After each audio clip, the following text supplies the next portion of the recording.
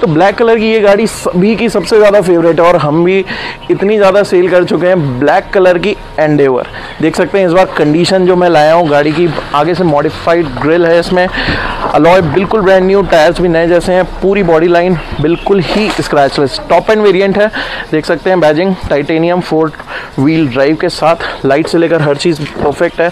पीछे की लाइट्स भी मॉडिफाइड है। पैनोरामिक सनरूफ का व्यू बेज कलर का इंटीरियर और आगे से भी देख सकते हैं गाड़ी की कंडीशन बिल्कुल स्क्रैचलेस बटन्स हैं। मतलब कंडीशन आपको देख के अंदाज़ा लग गया होगा कि गाड़ी हो तो ऐसी। और सच में, मज़ेदार कंडीशन में 3.2 लीटर इंजन में panoramic sunroof automatic transmission diesel में।